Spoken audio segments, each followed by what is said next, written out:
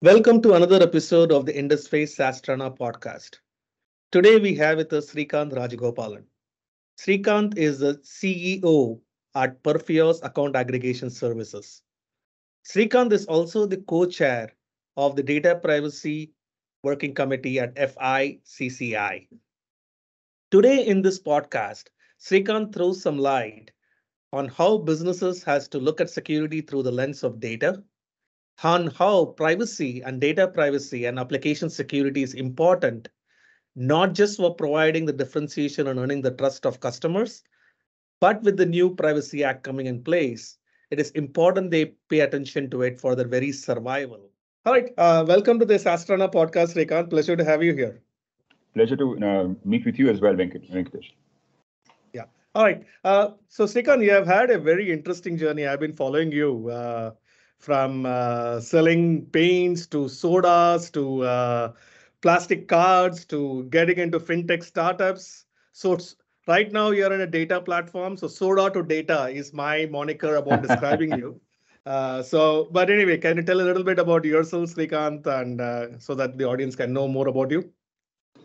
Yeah, thanks for that uh, uh, introduction. So yes, yeah, as you, as you said, I mean, I kind of started life as a sales guy. Um, you know, as a sales guy, I found my way through durables to sodas, and then uh, accidentally landed up uh, a job at Amex because mm-hmm. I was like, you know, I can if I can sell soda, I can sell a plastic card, right? It's just another sales job, right? uh, but then that started the love affair with payments, right? Mm-hmm. Amex was a very unique place. They use they run what is called a closed loop network, which means they get to see the transaction end to end. And that's got mm-hmm. some fascinating, fascinating data insights, right? From the mm-hmm. point of uh, understanding a customer, underwriting her, um, you know, then, you know, giving her a card, tracking her spending behavior, and then mapping it to your merchant coverage. No other mm-hmm. card network gives you that kind of visibility. So it was a mm-hmm. fantastic seven-year, eight-year learning experience. I worked with some of the best minds in the industry. Um, some of the some of them are still mentors, the people that I work with. But then eventually, you know, I got bored of a corporate career right? Mm-hmm. Two promotions, three raises. You know, you know mm-hmm. how it works, right? And then yeah. you kind of get bored. In 2007, uh, this whole concept of uh, something to do on a mobile, payments, commerce, etc., was just you know at its very very initial stages at that time. Mm-hmm. Uh, mm-hmm. The reminder back then we were in the era of 2.5G networks, right? You had to send yeah, a message yeah. to your uh, operator to get an internet session. It wasn't ambient like it was like it is today, right? Mm-hmm. And the smartest phone was a Nokia E51, which was a QWERTY keyboard. Mm-hmm. Right. Yeah. Um, so back in the day, um, I found a, a, techie through a mutual introduction, and he says, mm-hmm. you know, this whole mobile bandwidth is not being used well. There is a lot of empty space where you can do transactions rather than just voice and SMS. So the idea mm-hmm. was simple: Can you can you uh, install a 64 KB app on a Nokia mm-hmm. feature phone mm-hmm. and help people transact on that? Mm-hmm. Right? Uh, and as audacious as it sounds today in hindsight, we were able to pull off um, an app. I mean, we called it NG Pay or Next Generation mm-hmm. Pay. I mean, frankly, it was a lack of imagination or any, any other better word, right? so we were able to aggregate a bunch of merchants, over 50 merchants, who had mm-hmm. stuff to sell, right? We started with the mm-hmm. usual, your plane mm-hmm. tickets and flight tickets and stuff like that, and, and train tickets. Mm-hmm. IRCTC was a major merchant on board. Right? Mm-hmm. Um, and then we found in those days, you know, distribution was a big problem. Right? Mm-hmm. Because you didn't have app stores, you didn't have any anybody but a carrier who was a gatekeeper. Uh, so we instead went to the merchant and said, you know what, uh, help me distribute this app, and I can help you reduce the distribution costs for your own product. Mm-hmm. Things started taking off. Um, we were that hockey stick really started off in about early 2008. Mm-hmm. Mm, we got a term sheet from mm-hmm. a very storied um, Silicon Valley investor, mm-hmm. but as it happens, they gave us a valuation on you know last year's numbers, but not the current run rate. The mm-hmm. typical mm-hmm. found, founder, you know, uh, swag and swagger, you say, hey, you know what? I'm actually I'm going to end up 3x the number that you're going to uh, going to give me. Mm-hmm. So challenge accepted. They said, okay, come back to me in 6 mm-hmm. months, show me that you meet these numbers, and that valuation is yours.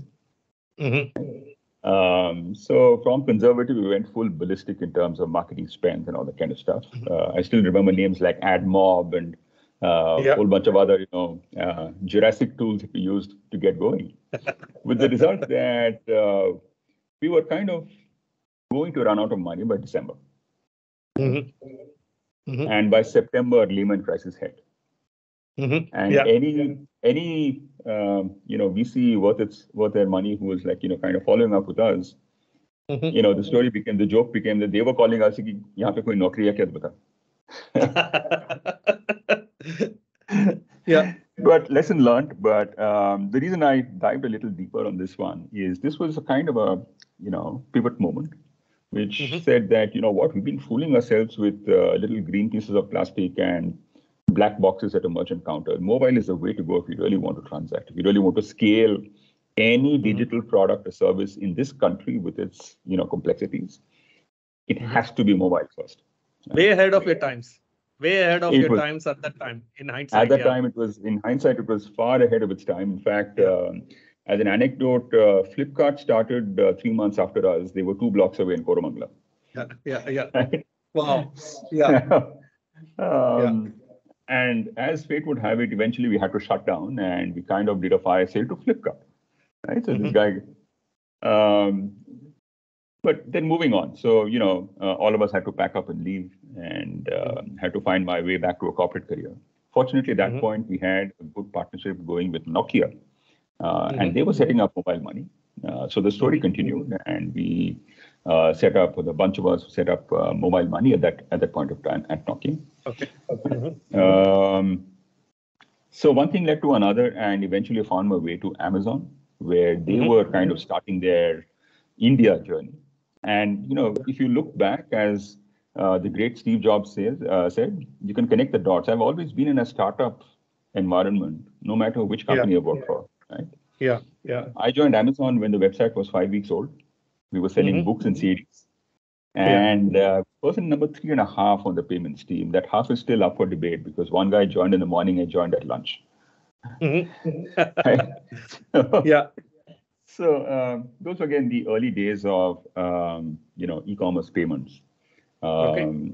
Success rates and you know the kind of quality of service you would find from banks was just not up to the mark. So we had a big role to play in actually collectively working with financial institutions, card networks, the uh, regulator, in actually improving the customer experience for you know uh, people checking out and actually a genuine intent to buy, but being held up by a poor purchase experience. Right? Mm-hmm. Mm-hmm. we started with about 85% cash on delivery just because of friction reasons.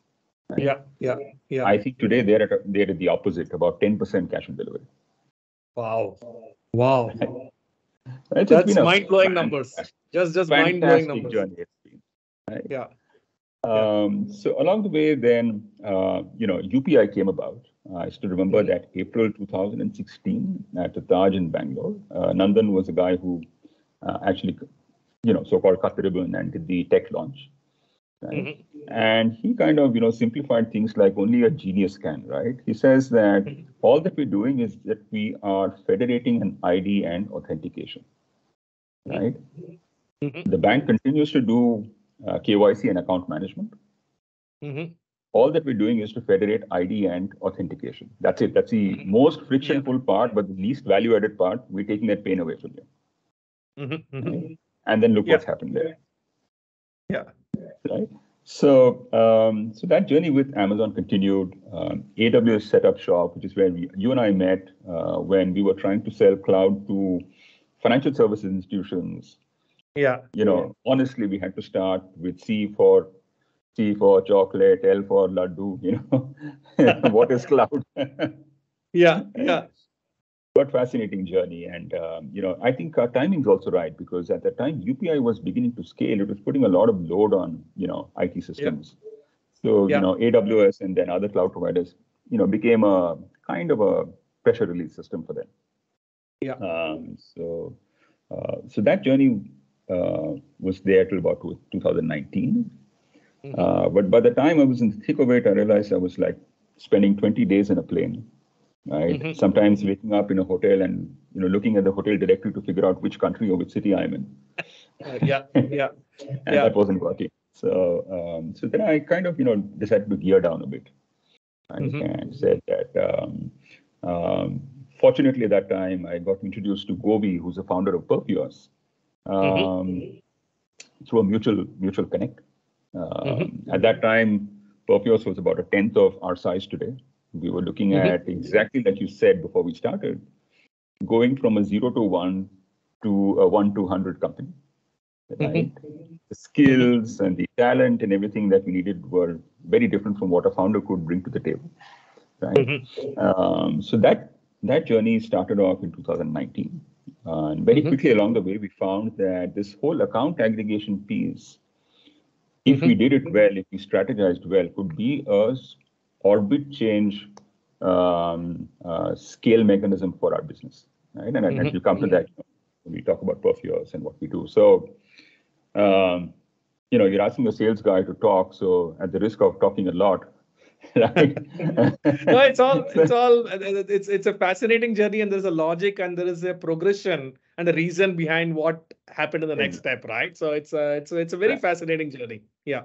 It's a Go ahead, fascinating yeah. journey. I think the, um, so where we are today, and probably segue into maybe the next question that you wanted to ask, which is about tell me about Perfios and stuff like that, right?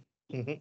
Um, so, so essentially, what we do at Perfios is to automate a lot of the rules-based processing uh, for Mhm. financial institutions. That could be onboarding, could be analytics, could be post-sanction, you know, monitoring, anything which Mhm. can be um, can be defined by a set of rules, which Mhm. needs uh, which needs data to be extracted from various sources, cleaned Mhm. up, annotated, and then put into that so-called logic engine. That's what we do, the end-to-end. right? Okay. When we started off, we had to really build those proprietary pipes into a lot of these uh, banks, right? So for you to get your data from any bank or or, or a mutual fund or or insurance uh, company, uh, we Mhm. had to build those proprietary data pipes Mhm. right? And even today, um, the number one um, limiting factor to any of our, you know, us or any of our competitors' growth is the friction that people face in fetching their data. Mhm. Right? Uh, if you're a totally organized person and you've downloaded six months of your bank statements as a PDF Mhm. and you remember the passwords and you try and upload it onto a Bajaj Finance site, uh, you see where I'm going with this, right? Yeah. Yeah. Uh, Yeah. So in that happy case, we kind of you know get some uh, you know, we make some revenues as Perfios in terms of automating some of these sales. right? Yeah. Um, so this whole account aggregation piece, though still a little nascent, is meant to solve exactly that problem. I mean, if, if you if you remember simply just one thing about what is AA, what is account aggregation, Mhm. um, we have the potential to do to data what UPI did to money. Wow. That's a that's a that's a very ambitious. It's a very simplistic way of explaining it, but uh, data has got a lot more complexity, nuances, shapes, and forms, and workflows associated with it than money. Money is uh, by two parties, two banks, and a transfer happens. Whereas And one data, SKU, one SKU with one sign here and one sign there, the opposite sign. there. Yeah. That's it. right? yeah, yeah. But but you're right. I mean, data is a whole new ballgame. Uh, Yeah. But as a All of us. concept, it's a very ambitious goal to have. It's uh, it's quite amazing. Yeah. It's absolutely. And um, the way, again, uh, Nandan puts it is that, you know, it's time that data principals were able to monetize their own data rather than the data platforms. Wow. Deep. Very deep. Very Yeah. deep. Yeah. So amazing. So so that's how Perfios was born. Tell me a little bit more about with how this grand vision translated into some sort of a reality. Where are you today, right now? And I just now saw your campaign, Perfiosness, uh, a new campaign that you guys launched. So tell me, what does Perfiosness means? What does what does this term, being what UPI was to money, that Perfios is going to be data? Where do you stand today in that journey and can you give me a few use cases where you are actually making life easier uh, starting with a disorganized person not having those six months of bank transfer trans, uh, statements with me how do you make life easy for such people Okay. Uh, let me answer that on uh, two levels. Uh, just for context, we are um, we're actually two different organizations. Perfios, okay. the mothership, is the B2B SaaS platform, which mm-hmm. essentially counts about 800 odd financial institutions in India and uh, 20 other countries as okay. its clients. Okay. Right. Mm-hmm. So our core product offering is analytics, decision decision automation, so on and so forth, and process automation, using mm-hmm. uh, our secret sauce of being able to extract, um, annotate, categorize, and work with data. Right. So mm-hmm. our core competence is being able to deal with data. Mm-hmm. The way we put that to use is to is to help financial institutions automate most rules-based uh, decisioning. Right? Mm-hmm. Uh, the entity that I run uh, officially mm-hmm. is uh, a regulated entity. We have a license from the Reserve Bank of India to be what is called an account aggregator. Right? Okay. Okay. Um, in simple terms, uh, an account aggregator really has um, four parties in this whole ecosystem. The 1st mm-hmm. and the most one, most important person is the data principal, people like you mm-hmm. and I, mm-hmm. who happen to have an account at, let's say, SBI. Mm-hmm. And maybe you're checking out at an Amazon website and you have a loan offer or an EMI offer from, let's say, let's pick a name, Bajaj Finance, right? Mm-hmm. Bajaj says, fine, I can I can help you finance this 50-inch TV. Just give me six months of your bank statement. Today, that's where trouble starts. Yeah. Right? Uh, yeah. What we're able to do is help Bajaj connect directly mm-hmm. through people like us. Anumati is our brand name. Anumati is the account aggregator that I run. Okay. Through us, they can go straight to an SBI saying, here is Venkatesh's mobile number. Mm-hmm. Do you recognize this uh, mobile number? Do you have a bank account linked to this mobile number? Mm-hmm. If yes, please give me six months of data. Okay. Right. So it's a set of protocols, it's a set of APIs that that is standardized across. Today we serve. Um, uh, okay, so so the first entity was you. You're you're shopping for a loan. You want to yeah. fetch your bank statements. SBI here is the financial information provider, okay, right? or the FIP. You have mm-hmm. your data there, and on demand is supposed to share your data because ultimately it's your data. Right? Yeah, yeah. Bajaj is the finance financial information user or the FIU. They're the guys mm-hmm. who need your data in order to give you some product or service.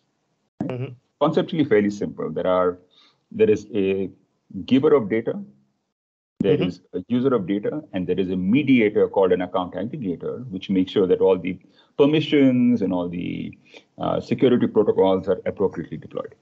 Mm-hmm. Mm-hmm. Right. So today, the network today we have is 46 FIPs right? Which mm-hmm. is uh, banks and, and FIP is financial institution provider, right? Financial information providers. Information provider. Okay. Okay. Yeah. yeah. So there are some 46 FIPs currently live. Um, okay. There are about 200 FIUs.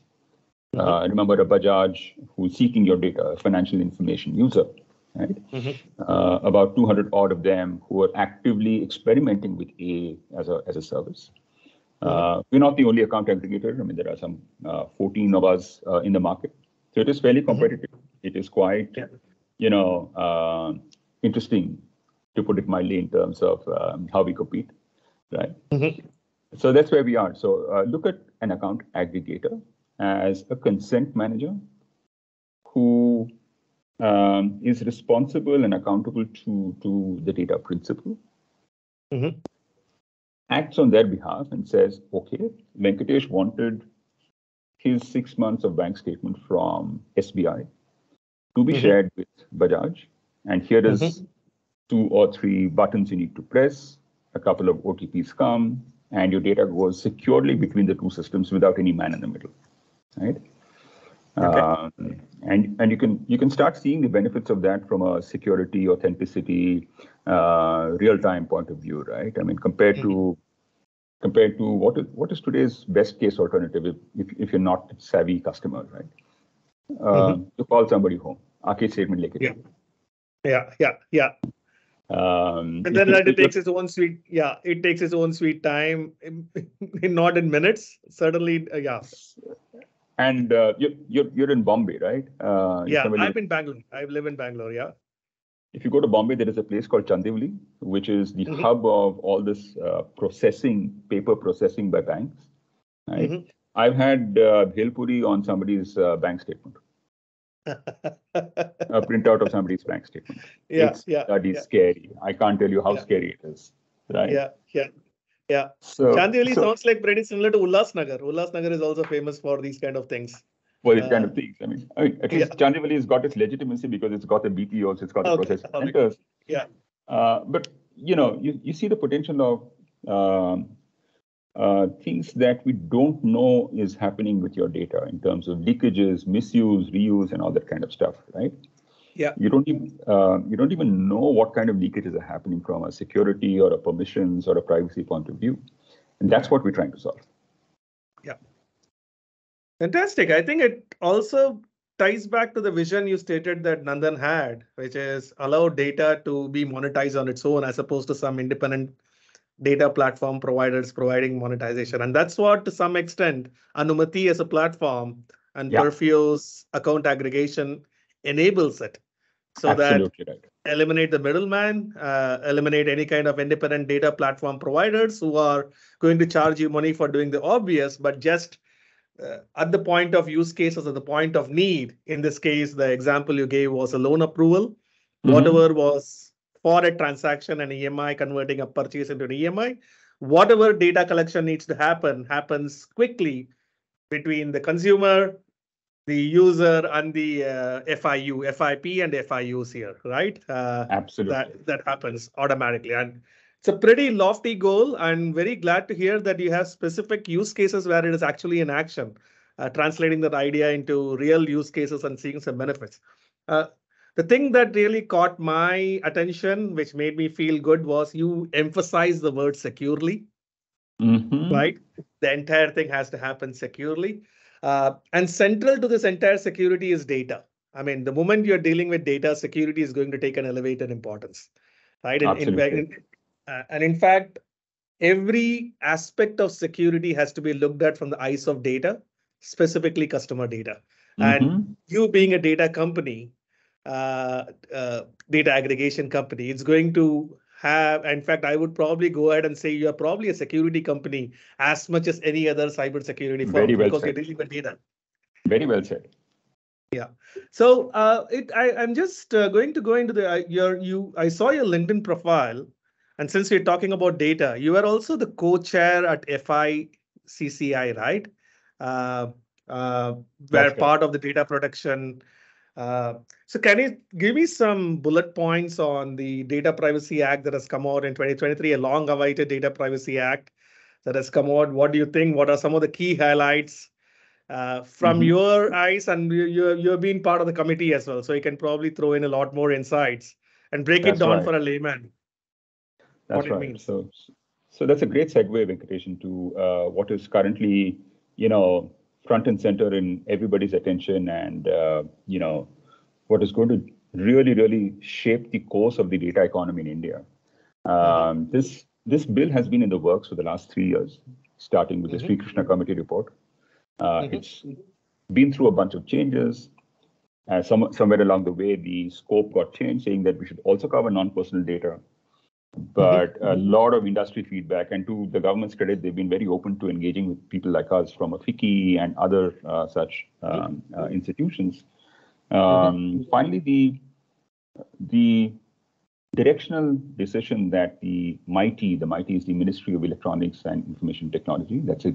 That's the arm of the government which has really put this together. Yeah. Yeah. Uh, what the MeitY finally decided directionally after a lot of feedback was we shall simplify we mm-hmm. will uh, keep it very, very specific to a single purpose called privacy and data protection and not muddle it with you know too much scope and too much of you know uh, bells and whistles. Mm-hmm. So from a intent perspective, um, their goal is very, very clear that we need a law which ensures adequate protection for citizens' data mm-hmm. with little to no disruption in day-to-day business operations, mm-hmm. but a very, very clear uh, paradigm shift in terms of how data is handled and processed by people Mhm. who are in, as you call it, the data business, right? Mhm. Um, there is obviously a huge uh, trillion dollar economy, digital economy goal that the uh, government is consistently being pursuing. So, the, so Mhm. we see this as an enabler, a, a safe, protected uh, uh, data ecosystem is necessary. I mean, you have to feel secure, you have to feel safe that your data is not being misused if you have Mhm. to participate in the data economy, right? Yeah. Yeah. Um, the other few things that uh, you know directionally that they have chosen to uh, chosen to uh, you know go down the path. One is they're saying that this law applies only to digital data. Mhm. If the data is in a paper form, it's out of scope. Mhm. However, if that paper gets scanned and digitized, it's now within the ambit. Mhm. Mhm. Mhm. right? Um, and you can see the uh, intent over here that if a person, if, if, if an average Joe wants to be assured that his rights are protected, Mhm. um, you trade off security for transparency. Yeah. Yeah. Right? You you participate in the formal economy, right? Mhm. Mhm. Whereas hitherto you were data dark for whatever reasons, right? Mhm. you make the trade-off by saying, okay, I will open up, I will open up my data, I will digitize it in some form or manner in exchange for better services, faster, secure processing, and the Mhm. might of the law being behind you. That's the Mhm. first most important trade-off that data principals start making, Mhm. Mhm. right? Instead of keeping Yeah. stuff under your pillow, Mhm. Yeah. now in some in, in some in some digital database, Yeah. automatically you're, you know, the government has got your back. The law Mhm. has got your back. Yeah. The flip side to that is a lot of data fiduciaries, right? Mhm. Uh, will need to go a mindset change, and this is the hard part, right? Till now, there's been this greed for getting as much data as you can, whether or not you need it. Dekha jayega, right? Mil raha hai data, you know, you're getting data, just grab it with both hands, stuff it in Yeah. some some, ware, some warehouse. We'll figure out what to do with it later Yeah. that behavior will need to change. I think the, the guiding principle is going to be uh, data minimization and purpose limitation. Right? Yeah. If you don't need to know what car I drive in order to give me a you know EMI, Mhm. then don't ask me, right? Yeah. Yeah. Yeah. Yeah. Makes sense. So I, I, uh, I, I, um, connected back to this uh, Netflix series that came. I think it was called Uh-huh. Inconvenient Truth. I Uh-huh. think Inconvenient Truth. I forgot the name. It was there was a Netflix series around uh, the social uh, economy, Facebook, social and network, yeah, yeah, yeah, yeah. yeah. around the entire. And then somebody out there mentioned that exactly the point you mentioned that, that, that there has to be a responsibility of people who are collecting data. And one way to make sure that the responsible behavior, behavior is enforced is the idea was to have something called as a data tax. A Mhm. tax for every byte of data that you have for the citizens or the user. So it's a very interesting thought process. Here you're not talking about taxation, but you're talking about in principle, the data fiduciary should show some responsibility in terms of the data, the purpose for which they collect, right? So it's a. it's it, it seems like a conceptually a step in the right direction, and uh, the law is behind you. Uh, Probably in this case through some sort of penalties or something. But yeah, continue right. continue your line of thought. Sorry to interrupt, but I No felt- problem at all. yeah yeah. I mean, this is a conversation, Venkatesh, not a uh, Yeah. you know, not a monologue. Hopefully, right? Mhm. Um, see, there are a few nuances that it is important to keep in mind when you're running a, a data business, right? Yeah. Uh, you have to first ask yourself, are you a data fiduciary? Which Mhm. means the person who makes the decisions of what data is collected, why it is collected, how it will be processed and, and uh, retained. If Mhm. you're making those decisions, you're the fiduciary. Mhm. However, if you're a payment gateway who simply just processes the transaction, for example, then you're a processor. Mhm. You don't get to make the decisions of what data needs to be collected, so on and so forth. Right? Yeah. Yeah. So in our concept, in our context, uh, from a, uh, what I told you about what Perfios does, we Mhm. essentially carry out processing ins- instructions on behalf of, let's say, an SBI or, or an HDFC bank. Right? Mhm. Uh, the relationship is very clear, and we've been in fairly intense conversations internally and with our clients to figure out, you know, how we should mm-hmm. reorient ourselves to this new law. Uh, one thing mm-hmm. is clear that these financial institutions, for the right reasons, continue to be the data fiduciaries. Yeah, uh, people yeah. like us, people like, let's say, maybe a Razorpay, so on and so forth, until they get licensed, uh, continue mm-hmm. to be your uh, uh, processors. Okay. Okay. Right? Yeah. And it, it, it, makes sense. I mean, so you are the data processors and the endpoints uh, will be the fiduciaries. Correct. And is it is it fair to say that this uh, Privacy Act is applicable more to the fiduciaries in terms of their handling of data than to the processors, or it goes both ways? No, it's uh, its scope is limited to fiduciaries. Okay. And almost every fiduciary is co- covered by, let's say, in the banking industry, there is something called an IT, outsourcing guidelines, right? Okay. Um, so it is the fiduciary's job to make sure that any processor or third party that they use to mm-hmm. handle mm-hmm. processing or whatever of data, there is mm-hmm. adequate supervision, audit trails, so on and so forth, and you know, no data commingling, all all, all the things that you know, yeah. uh, things that uh, go through the audit part. So, yeah. so the regulators and the uh, policymakers are very clear that listen, we don't have the capacity to supervise and monitor hundreds of thousands of entities or lakhs of entities, right? Mm-hmm. We will catch the fiduciaries whose business depends on this data, make mm-hmm. sure that they kind of, you know, uh, behave responsibly. Okay, makes sense. So, so there is a 50 crore fine that I keep hearing about, 50 crores to uh, can you can you explain when will that fine kick in or uh, businesses? I mean, any businesses which is a data fiduciary. In fact, I would even extend it to SaaS companies. All the SaaS companies are getting the trust of their customer for some service they are offering, and in return, they are storing some data, CRM systems or any any any software service company has some form of customer data. Does this extend to any data fiduciary, not restricted just to financial institution? And what will any businesses, a SaaS business, will have to worry about in the context of this act? Is there something for them to worry about, or only financial institutions now? No, no. It's any any business that deals with PII. Okay. Right.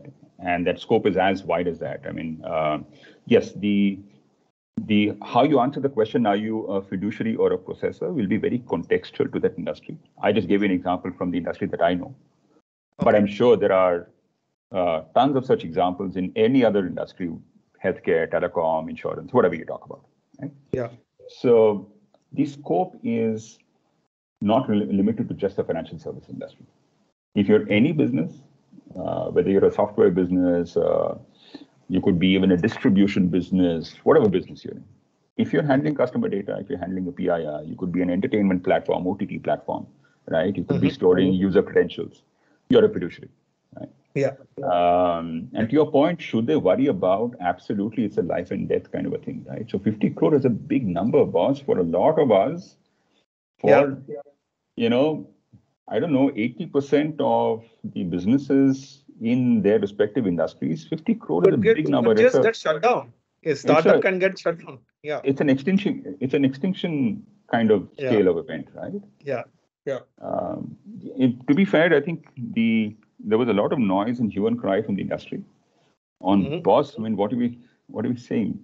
50 crore, 250 crore, and all the stuff. So the minister was very candid in how he responded. He said that this is exactly the reaction that we want from businesses to be aware that out of over out of you know not uh, out of let's say carelessness or even malintent if you happen to lose customer data and break the law there is a there is a you know life ending event that can happen right? So yeah I, I, very very, very yeah and if you do the right things then you don't have to worry about it. I mean if we are doing the right things and we have the right process in place, and in yeah. spite of that, let's say something happens, would there be a or is it just a black and white that if there's a data leakage, you had a B50 crore fine, or you had a data leakage or some personal identifiable information gets breached, but they are still doing the right things. that's where the concern is, right? I'm still a responsible business, try to do all the right things in place, and yet API get leaked. Leaked. So what is it from a process standpoint or something is is there something that uh, we, there is clarity or we will have to go through an iteration to make that up good question i think it's still work in progress what the what we have is just the uh, umbrella law right? okay the umbrella law is designed for for three things one is its universal universality of application okay right to its simplicity of expression. You should go through the Act. It's one of the simplest English, you know, documents that I've read. Okay. Uh, you know, it, it doesn't have this here so forth and notwithstanding. English and legal don't go hand in hand, but it's good to have a legal framework with an English-like uh, simplicity. With an English-like simplicity, right? Yeah. Um, and it's intentionally drafted in a way that you know it can very quickly keep up with uh, changes in technology, right? Mm-hmm. Mm-hmm. But what they've left uh, left to be implemented is the rule. Mm-hmm. We, we need to draw a line between policy and rules.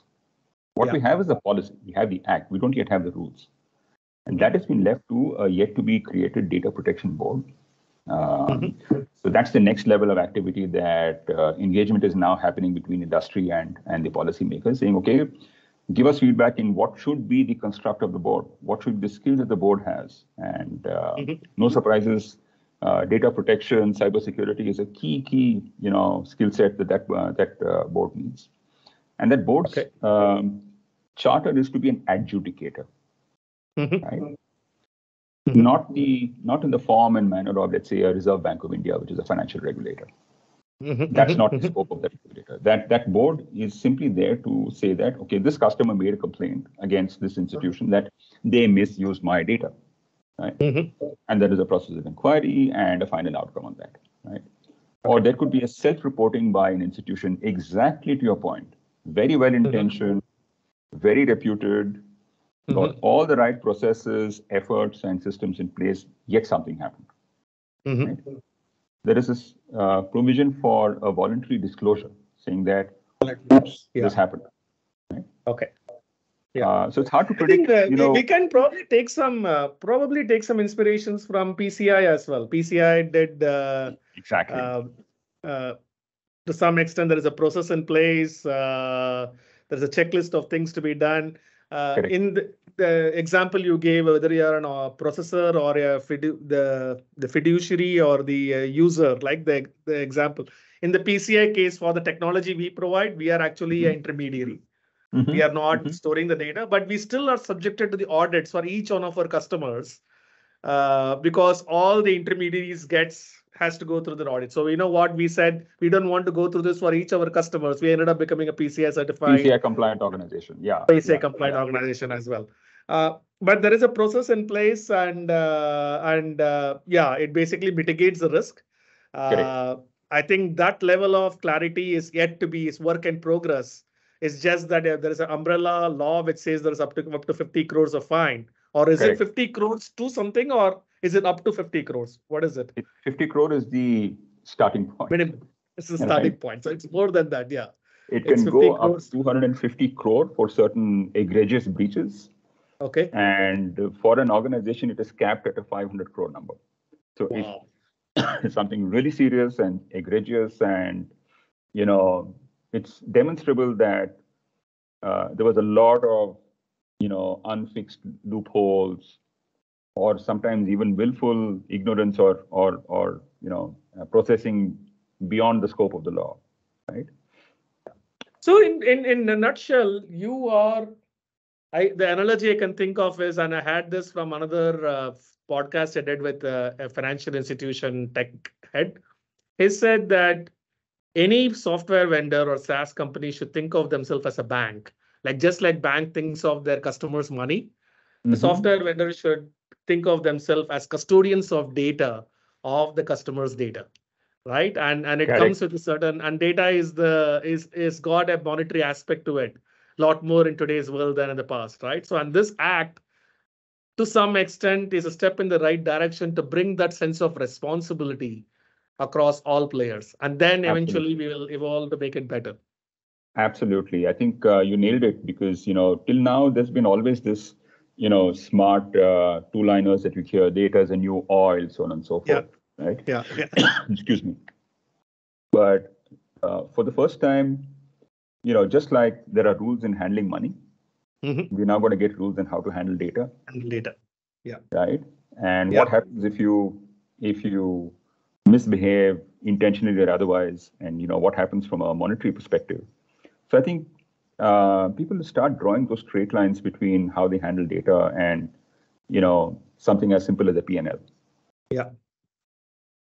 Okay, fantastic. Very, very insightful uh, conversation, uh, Srikanth. Really, I, I, I learned a lot. I want to I want to give a loaded two questions combined into one to you. Okay. Uh, of course, account data aggregation, data is going to be uh, central to everything that we do today, right? And and I'm also seeing a perfect storm that is happening, at least in India, right? You mm-hmm. had UPI, you had companies like Perfios, which is trying to bring very compelling use cases around data aggregation. Mm-hmm. And I mm-hmm. also see things like ONDC, OCEN, Open mm-hmm. Networks for Digital Commerce, yeah, Open yeah. Credit Enablement Network. I mean, fundamentally, right. these are all standardized protocols for exchanges between individual entities or stakeholders in a specific use case ecosystem to exactly be able to share data and take decisions quickly and benefit right. the consumers, right? Right. Uh, you also have a perfect storm that is building up to give productivity boost and speed boost for things like LLMs, co-pilots. Mm-hmm. The mm-hmm. speed between a thought process to something being a viable productized use case is becoming shorter and shorter. Absolutely. because of this open networks, easy exchange of data, and LLM based use cases that can be built on top of that. And then you have co-pilots which is uh, all these new things that is coming up. It's a perfect storm that is brewing up in terms of the speed at which some unprecedented innovation is going to happen. Absolutely. Now now it's going to also come with a lot of unknown risks. Completely. the speed at which exploits and unknown risks can happen and the use cases is also something that worries us. So i think i'm going to ask you uh, two questions. One is, is it fair to say that central to any kind of business security is applications and the data it deals with, and you take care of the risks and mitigating those risks, it will, you're to a large extent, you are mitigating the risk. And how do you build a culture of mitigating those unknown threats, right? As we go ahead mm-hmm. with all this great business use cases that is building up, mm-hmm. how do you build a culture of mitigating them? And finally, how do we position and transform this entire threat to not be worried about it, but it's if you do the right things, it's an enabler for your business. I, as a business owner, how do I, how do you take all these things together and give a simple message that, yeah, it enables your business by taking care of security? Right? It's a pretty wow. loaded question. If you want me to repeat that, I can repeat that there are multiple points in that, but yeah, I want your, I want your views on that. That's very, very insightful and actually a minefield, not from a question answer perspective, but if I were a business owner, there's a minefield that everybody needs to cross. Yeah. The first, uh, the answer to your first question is actually the simplest about mm-hmm. how do I think about application and data security, right? Mm-hmm. In the context of running a business. Mm-hmm. my view to that to that is a little old-fashioned and very simplistic. That if you can't keep your data secure, you shouldn't be in business. Mm-hmm. Yeah, it's as black and white as that. If mm-hmm. you have even an iota of doubt that maybe this application doesn't meet the rigors of whatever security systems that you follow, mm-hmm. don't be in that business. Mm-hmm. Because uh, very quickly you'll find that whatever short-term benefits that you might expect from all this Cambrian explosion of data and, and capabilities, mm-hmm. they will not pay back for an extinction-like event. Mm-hmm. Mm-hmm. Right? Yeah. If you yeah. lose data. Right? Yeah till now, you, till now, actually, you know, you could you could have gotten away with it. Mm-hmm. Now there is a law which holds you accountable, mm-hmm. and there is law enforcement through the data protection board that is coming in. Mm-hmm. So, it, yes, there are a lot of businesses today which deal with data which are not up there in terms of security and uh, you know uh, privacy protocols. Um, simple. I think the simple message to such a business businessman or entrepreneur is uh, you should have started worrying yesterday. Today is today is second best, right? Yeah. Okay. um, start thinking of start doing a complete audit and inventory of all your processes and systems that touch data right from the time that you contact a customer even going down to querying where did i get my sales leads database from? What was this you know how was it procured right? Did the customer consent to be in that uh, database so on and so forth it's it's it's uh, it's going to be messy and it's going to be hard. There's no going away from that Mhm. in order to be prepared to continue to doing business in this new regime, your first starting Mhm. point is do a complete audit. I mean, where all are my data points coming from? How am I processing it? Who are the Mhm. different user groups and you know departments in my company that have access to what kind of data? Do they Mhm. need uh, you know a 16-digit card number or just the redacted last four four digits? Right. Mhm. Yeah. Right. Some as fundamental as that, as simple to implement but overlooked. Right. Yeah. And finally, Yeah. what is my data storage policy? Right. All Mhm. of that stuff. Right. Mhm. So I think uh, the first and most immediate call to action would be to start, you know, doing the self introspection. Uh, Mhm. Obviously, the bigger the business and the and the bigger the line, you know, number of uh, lines of business, it gets Mhm. complicated. Uh, But there's no going away from it. Mhm. Two is, as I think, as a process of natural selection, you will find that um, the overall quality of businesses, entrepreneurs, um, data fiduciaries that survive Mhm. will be of an order of magnitude higher or better quality, Mhm. right? In terms of how they handle data. It's a Yeah. it- it's going to be Darwinian in the short term. Yeah. Yeah. Yeah. Yeah. right? Absolutely. Yeah. those who survive will Mm-hmm. actually be those who will earn customer trust, will Mhm. start building on top of that, right? Uh, will enjoy, will start enjoying scale benefits because if 20 of your competitors died by the roadside because, you know, for whatever reason, Yeah. then obviously your scale economics also pick up. So uh, these are some of the things that, um, you know, CIOs and I would say even boards need to recognize Yeah. Yeah. saying that dealing with security and privacy is not just uh, another compliance checkmark. Mhm. It's a whole new way of resetting a mental model Yeah. and looking Yeah. at it as uh, both uh, threat avoidance Yeah. as well as a booster to you know uh, two years down the line. Yeah. Yeah. Fantastic.